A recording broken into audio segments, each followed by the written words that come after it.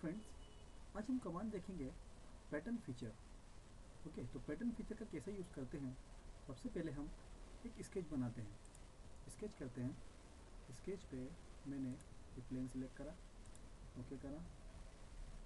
मैं बनाऊँगा एक सर्कल बनाता हूँ. ओके सर्कल मैंने बनाया. सपोज़ मैंने इसको हंड्रेड का डायमीटर दिया. ओके अब इसको फिनिश स्केच करा। एक्सट्रूड पे क्लिक करा। इसको मैंने दिया। थर्टी प्रिंटर ओके तो ये थर्टी का मैंने इसको एक्सट्रूड कर दिया। इसको मैं हाइट कर देता हूँ। ओके।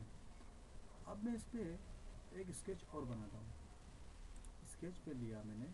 इसको मैंने ओके करा। इसके ऊपर मैं सर्कल बनाता हूँ। छोटा सा। ओके। इसका डायामीटर देता हूँ मैं। टेन ओके टेन डायामीटर दिया मैंने। इसको एक्सट्रूड कर देते हैं। लेकिन इसको एक्सट्रूड करने के बजाय हम इसको सब्सट्रैक्ट कर देते हैं ओके इसको बुलियन पे गए सब्सट्रैक्ट करा रिवर्स डायरेक्शन अप्लाई ठीक है? तो अब ये होल बन गया एक सर्कल के अंदर। अब सपोज़ दोस्तों, ये जो होल है, इस होल को मुझे पूरे सर्कल पे रोटेट कराना है। मतलब ऐसे ही होल मुझे और चाहिए यहाँ पर। एक, दो, तीन, चार, पाँच छः और जैसे बारह, तेरह मुझे होल चाहिए। ठीक है? तो उसके लिए मैं क्या करता हूँ? पैटर्न फीचर में जाता हूँ। ओके तो पैटर्न फीचर में जाकर उस फीचर को सिलेक्ट करता हूँ, जिसको मुझे, जिसका मुझे पैटर्न बनाना है। ओके सपोज़ मैं इसको पैटर्न को क्लिक करता हूँ।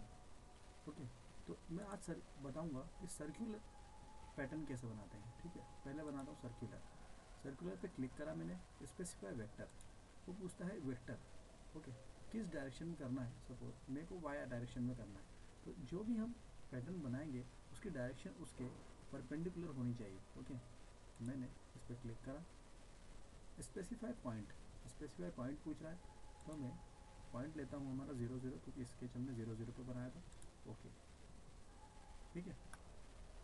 तो ये पैटर्न शो करने लग गया अभी। अभी बनाया नहीं पूरा, लेकिन देखता हूँ ओके तो यहाँ पर सपोज़ मुझे 20 पैटर्न बनाने हैं इसके ओके तो काउंट इसका 20 दे दिया ओके और इधर 360 डिवाइड बाय 20 कर दिया। ओके? ये तो इसने 20 सर्कल बना दिया। मैं कम ले लेता हूँ, मैं ले लेता हूँ 10 लेकिन यहाँ पर 360 डिवाइड बाय 10 करना पड़ेगा। ओके? ये हो गया। तो अब इसको, इसका प्रीव्यू देखते हैं। अप्लाई तो इसका प्रीव्यू कैसा दिख रहा है? ये देखिए दोस्तों गया इस तरह से, ये सर्कुलर पैटर्न ठीक है।